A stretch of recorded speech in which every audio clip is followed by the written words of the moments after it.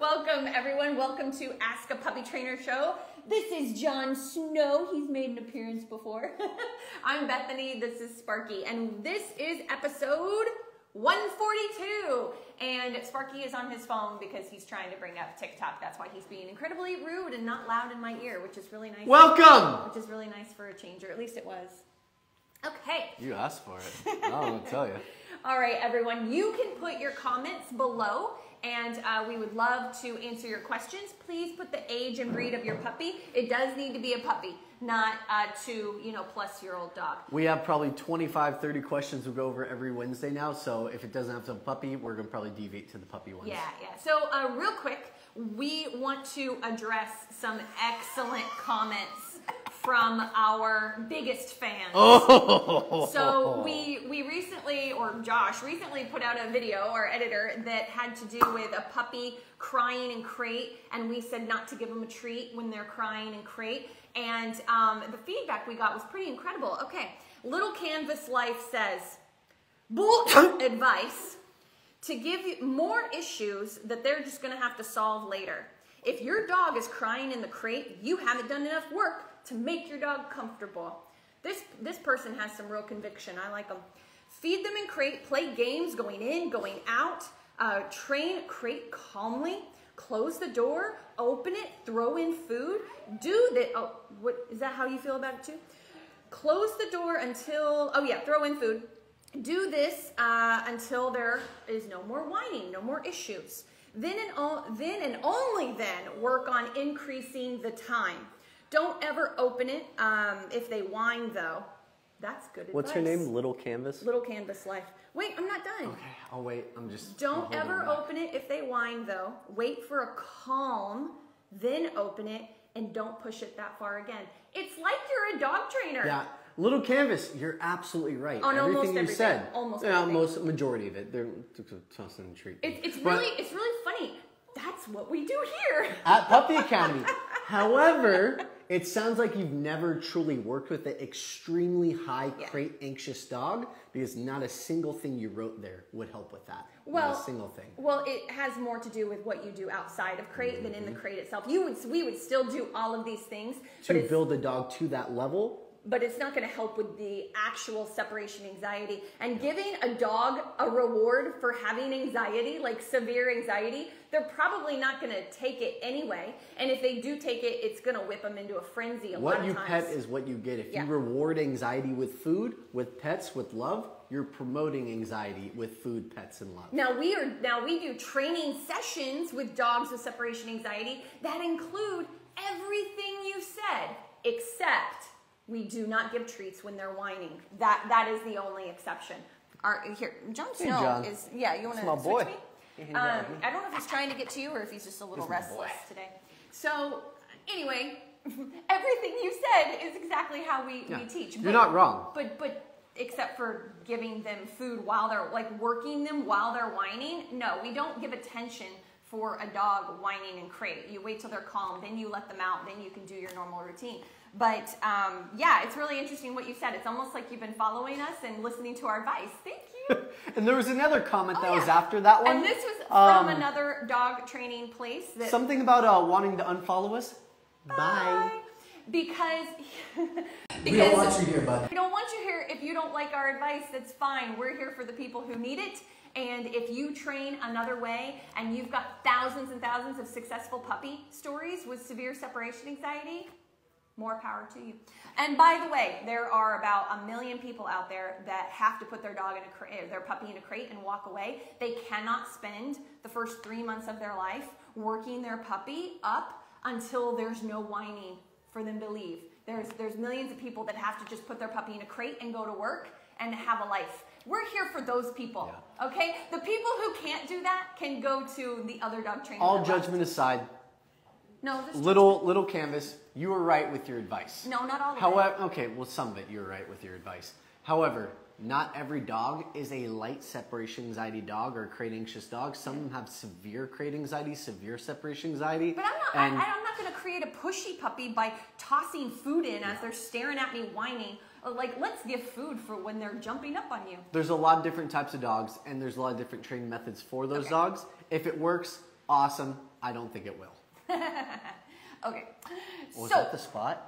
Look, look at a all right, we dog. are moving on, and we have a comment on uh, Instagram. Scroll. Quite a few came in. Man, come on now, work with Scroll me here. up, up, My up. phone doesn't want to. Okay, You gotta hit the chat. it's not working. Scroll up on the chat. Oh, it's not. Oh, well, it's only letting me do it that You much. probably got sweaty fingers. think, you want me to read it?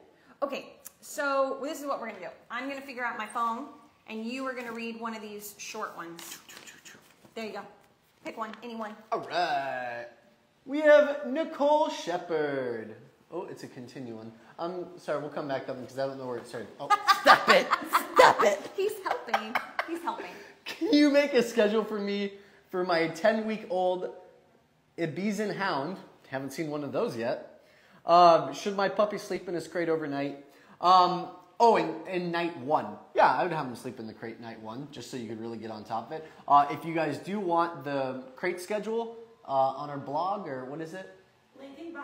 There's a link in bio, and there's a free masterclass for you guys to check it out. You'll get more information, and it'll help you guys build one. Yeah. That's better than me just giving you one, because that one you build for yourself. Yeah. All right, one more. Francine Darla, 17 week old cockapoo. How to stop barking at older dogs when older dog has desired toy. So it sounds like she's demand barking, honestly, probably having a leash on that puppy, being able to control that space a little bit better, and then teaching a good recall. So working every morning on teaching good recall, using your food, using your kibble, five to 10 repetitions, over 20 seconds, give a short pause, do another 5 to 10, and then you build up enough recall to where when your dog, your older dog has the toy, your younger dog is waiting to get the toy back, you can puppy come, redirect them away, and redirect them to a different toy. Pull them into a different space. Most time that demanding behavior is just them trying to get to something that they can't get. Well, yeah, you're adding in a resource, so I need more context. Uh, were these dogs playing? Were these puppy and older dog? Were they playing together and interacting? And now the older dog is taking the toy to the corner to chew on it because then play is over. Drop it, pick up toy. Toy goes back in the toy box if the older dog is no longer doing a give and take play scenario. Okay. And if So- it's like my dog's at home where my older dog one just wants to hold it and her younger one wants to bark at her, then then that's yeah, a no. Then, that's then a hard no. That's that's not a game that, that they can play. And so then I might put up um, if I can't watch them, there has to be a divider between the two of them because you're adding in a valuable resource, and the little puppy will get more and more pushy over time. Mm-hmm. Just like Jon Snow was not wiggly and pushy like this the last time he was here. Okay, your He foot. wasn't like that with me. Your foot is stuck. Okay. And so the other thing I would say is that uh, does if they don't play interactively together, one dog has their own toy, the other dog has their other toy, and there's a boundary up if you can't watch them and supervise that. I have a dog, Dakota. She's sweet as pie, but she likes to go and take things and put them underneath her and lay on top of them. So she will take every toy that any dog has. And so all the toy work is when I'm playing with my dog or I'm supervising give and take play. And once they don't want to do that anymore, toys go away. It's resources can be um, really dangerous if left unsupervised. What ends up happening is older dog gets frustrated, younger dog gets older and more pushy and more dominant. Older dog sees that younger dog is a threat and one day snaps at him for trying to get the toy and Yeah. barking at him. So that's the that's the progression what could lead to. It's better to it do what she said to. to prevent getting to that point. All right, Riley Bird Martin off of Instagram says my 16 week old goldendoodle will not stop barking when tethered during supervised separation. Any advice? I'm trying to ignore it, and she will settle, but it doesn't seem to help much. Ooh, I gotta talk about Jinx. Jinx? Oh Yeah, yeah, Jinx. go. So- Jinx is the definition of this. So Jinx doesn't bark um, because of the breed. They just don't really bark much. Uh, but this dog like almost pulled out her shoulder, and she's a puppy. She's a very driven, crazy puppy, being back tied, and she's been taught place fairly. Knows how to reset herself. They've done all the things that we say to do before you back tie a dog and supervise separation, and Jinx still was doing that, and they had to stop or they had to take a break and or use different tools. Like we've, we've been trying all kinds of things. And so my point is just that your dog isn't ready for that yet. They're not ready to be back tied because you're getting barrier frustration without the fence. Mm-hmm. Okay? So the, the leash is a barrier. That's why dogs become reactive on leash. And so you're accidentally creating barrier frustration. Your puppy's not ready for it yet. So what I would say is, unfortunately, you're gonna have to do a little bit more crate time and then bring your puppy out with you, have them tethered to you on leash and place within three feet from you. Maybe to start with, it's right next to you. And you do your work and you reset. And you do your work and you reset. Or, or no, I have another one. 16 week old puppy might not be able to do playstration yet. So um, have a place cot there next to you so he can choose that if he wants to, but he just can't hit the end of the tether. So every time he hits the end of the tether, you can give a little tug or guidance back in, depending on how soft your dog is.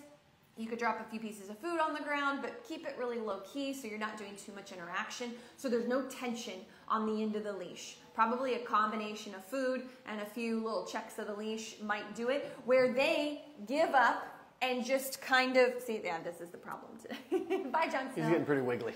I think he's got to pee. Can we Um, let them know he has to pee? they to where your puppy eventually is like, well, I can't do this, I can't do this, I can't do this. I'm not interested in the Nylabone that you gave me. I guess I'll just ah, be bored, and that's what you're going And for. And then you pat yourself on the back because you got the sigh. don't pat your dog.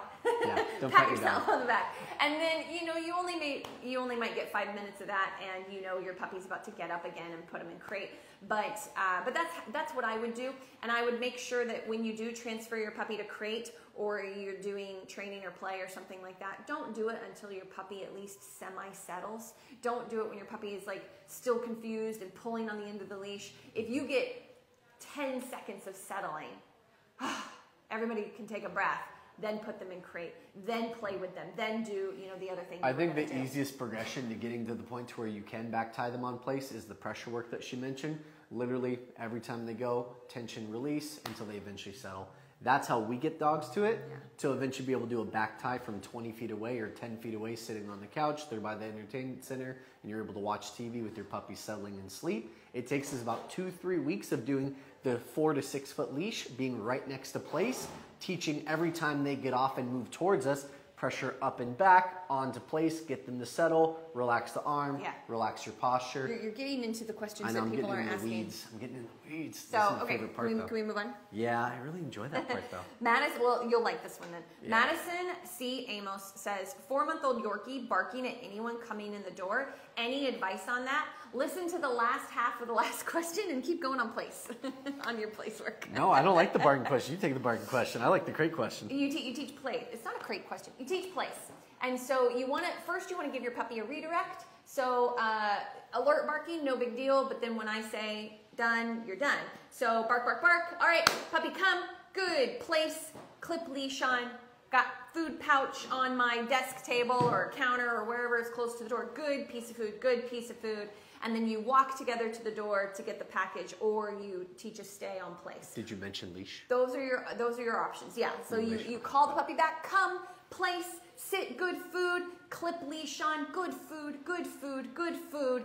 Walk to the door with your puppy, stop every few feet, sit, food, or work up to them staying on place. Remember Um, to do your relationship building exercise to build up the ability to get that come in a difficult situation. Leash is your leverage and your backup, but if your dog isn't coming to you in low stimulation environment next- situations, yeah, yeah. you got to build that up more for you to get come in this in this situation as well. How do you get come in place when someone knocks on the door? You practice it every day in other situations. When there's not someone knocking at the door. Exactly. And then you practice, practice with Amazon delivery, practice with all that. All right, my puppy poops every time she is in crate after spending ages in the garden. Tough. All right, so I heard the word ages, and I assume you're out there for 15, 20 minutes, but it doesn't sound like your puppy is out there for the reason that they need to be, which is they are out there for potty and Urgency! potty. Yes, we have to create that urgency. So, how do we create the urgency? We use the crate in combination with them going outside for the potties, but the time outside is like two minutes max.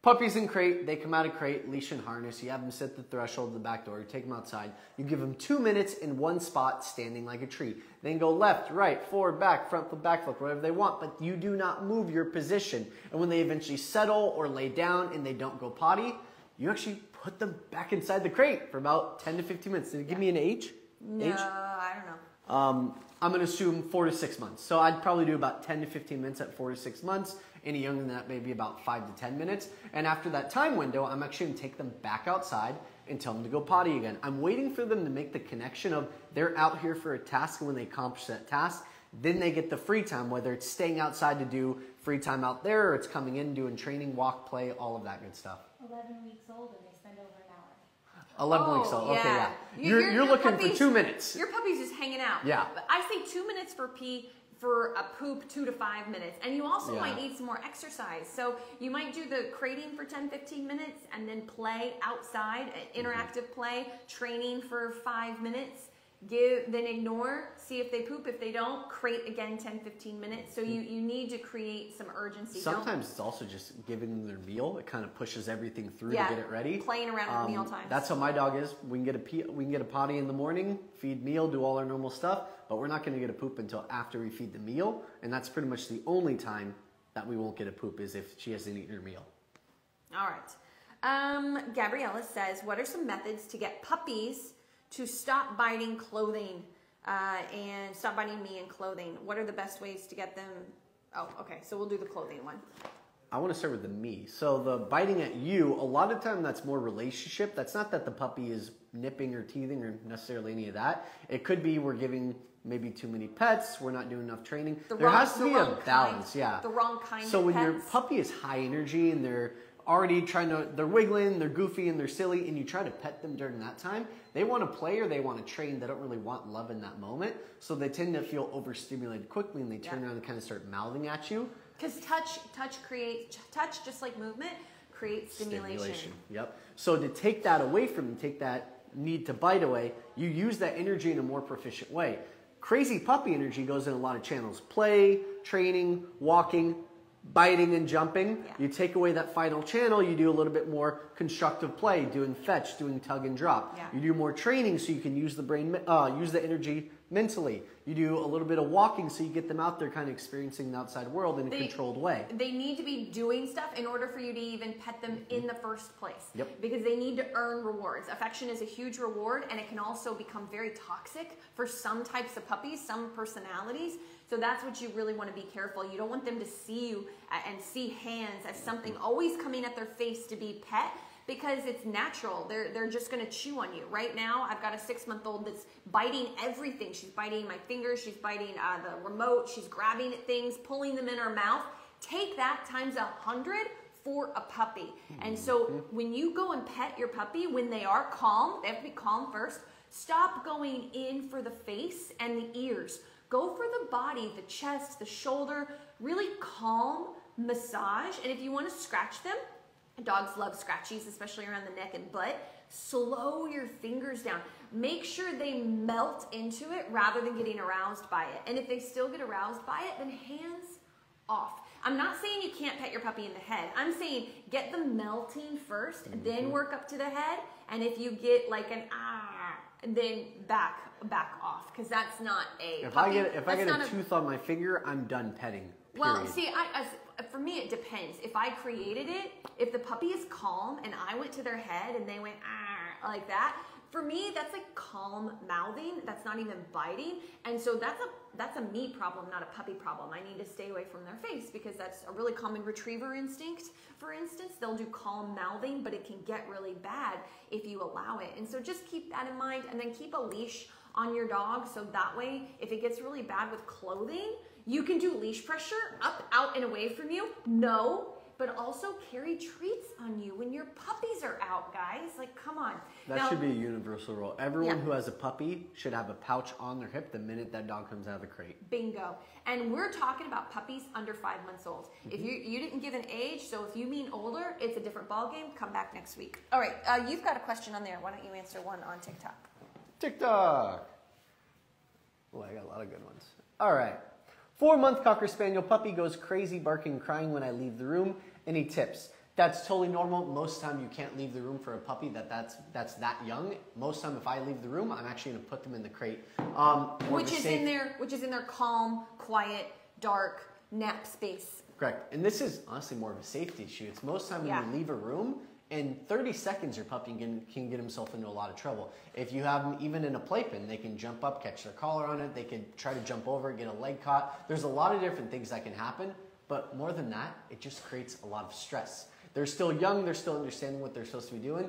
Our personal preference is if I have a dog in a playpen and I'm gonna leave the room for a minute, I walk out of the room, I come back, I get a little bit of barking, not a huge deal. If I'm gonna be gone for like three, four, five, six minutes to go to the restroom, 10, 20 minutes for that one. I know. I, I was I was being 10, nice. 20 minutes for that. For him, but if I'm me. leaving the room for that long, I'm going to put them in the crate because I know it's safer for them and it's going to cause less Yeah. stress. Exactly. When my puppy is out of the crate, I am almost always with them to some degree. Yep. I mean, literally, eh, your option is to go into the bathroom with them on leash and teach them how to do a downstay. Those, that's your other option. I started doing that with my friend's dog. I All go right, I- check on the dog occasionally, downstay in the bathroom with me. Okay. I have a quick one, I think. Uh, Mans R says seven month old Doodle, which sounds to me like a bigger dog, eats everything. How do I stop him? Honestly, you need head control. You got a seven month old dog that sounds like he's on the bigger side. There's not a treat in the world that's going to compete with that delicious leaf over there. And I, I, with a seven month old, I don't want to constantly be compromising with treats anyway. So I've got head control. So I would um, look into teaching leash guidance with a slip leash. I'd probably start there. Then I might go to Power Loop. You can look all this stuff up on, on YouTube.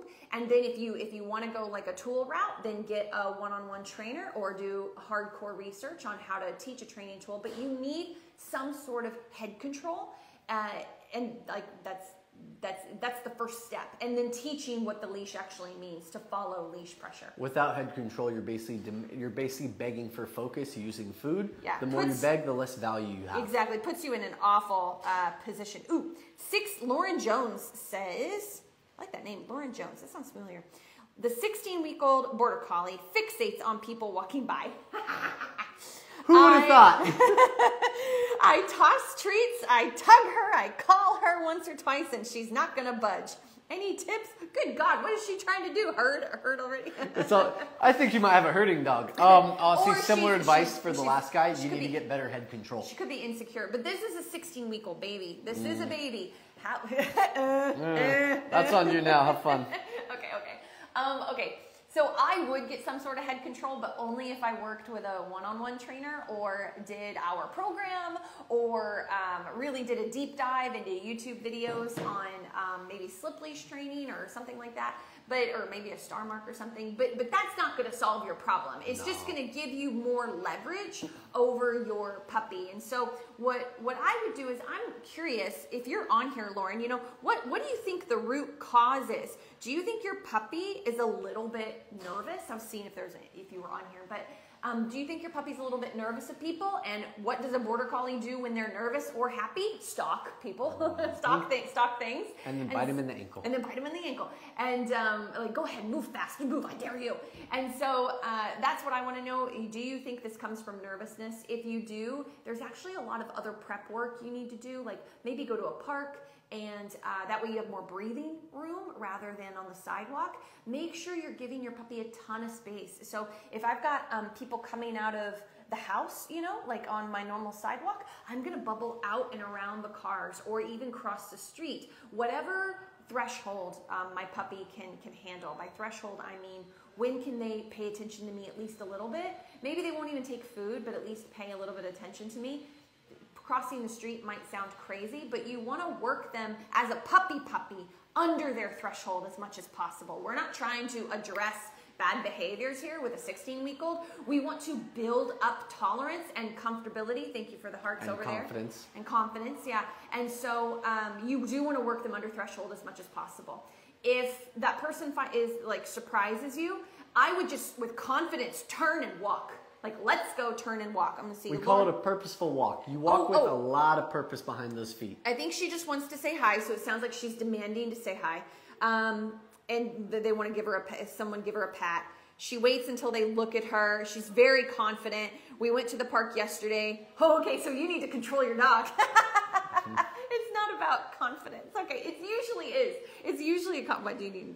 I just want to see the rest. It's, it's usually a um, nervous issue, so that's why I went I went into that. So you just need to control your puppy, and so it's actually the same thing. You you don't want to be fighting with your puppy and creating a lot of frustration and like competing, right? So you do need more space, and uh, you need to do, in my opinion, work on some stuff that's just the two of you a little bit more in the house, in the front yard. Maybe place and come in the front yard with the three people that might walk by in a suburban neighborhood over the course of, you know, 20 minutes. If that, you know, if I know the mailman's coming, I might throw a cot into the front yard and do place and come, place and come, just for the mailman getting out, putting my mail in, you know, and driving off. You, I would say you need to build a little bit more focus in uh, less intense situations. But if your puppy's demanding to say hi, it's a very firm, let's go, turn, walk, tug of the leash, let's go, and food, good, food, good, food, good. Maybe I have higher value food for just when we see people. So maybe I usually work with kibble with my dog,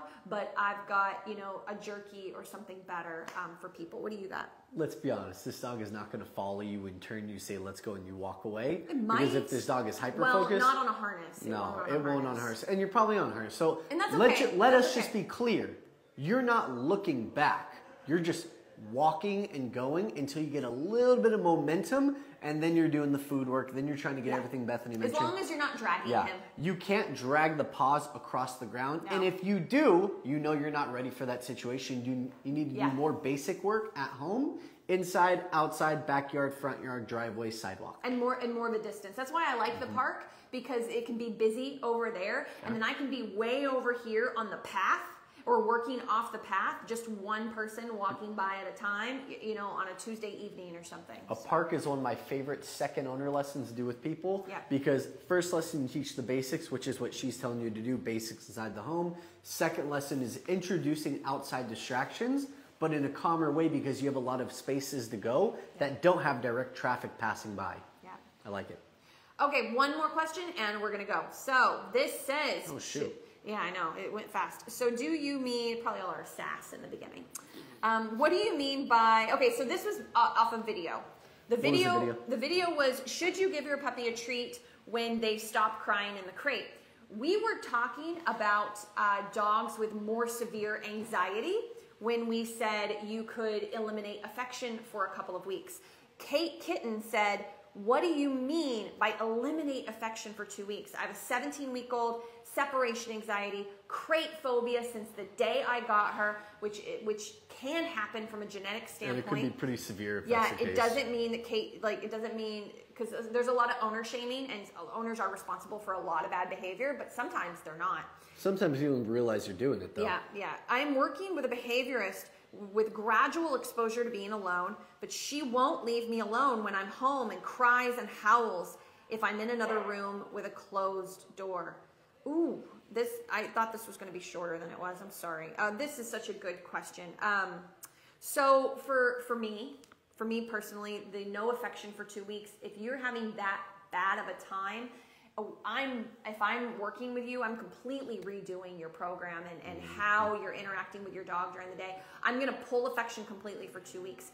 Uh, You and that seems so harsh, but I hope you guys know out there that your dog's affection, your dog's affection, not how you feel and what you want, but your dog's affection comes from teaching them new things, training, uh, play, interactive play, tug, drop, break, fetch, walks, teaching them boundaries, just like with kids and relationships. Like that is all affection, all of it, because As it's far as they're concerned. As far as they're concerned. It's us that needs more of the other stuff. I am not saying dogs don't enjoy affection. Of course they do. They can get addicted to it and become very pushy and have all kinds of issues. Which is separation anxiety. Yeah, An addiction to affection. Exactly. And some dogs are genetically more prone to that than others. And mm-hmm. I would say that, you know, specifically for this person, you don't have just a crate phobia, you, you've got full blown separation anxiety. And so it might not be a crate phobia, it might just be separation The anxiety. two weeks of lack of affection is to give you ground zero. Yeah. It's to give you a baseline. It's give you somewhere clean to work slate, off of. cleaner slate. I said that in the video, clean slate. Yeah, clean, cleaner slate. But but anyway, that's that's what we mean by that. As far as you know, trying to help you with these specifics, we don't have time to go in it today. But if you go on our YouTube and look at all our Q and A's, we do deep dives on some of our Q and A's. Um, when people have asked us these questions. So if you could do that or come back next week, join us live, we'd be happy to talk I mean, we also do have our online school. We have a lot of videos that go over puppy meditation, calm crate patterning, different things you can do with your dog instead of giving affection. And what Bethany mentioned earlier about giving food and training and all that, what we tell our people who are on the two weeks no affection is when you want to give a pet, do a five minute training session and just give food. Because food is a pet to your dog and it's better than a pet could ever be. And how are you petting and when are you petting?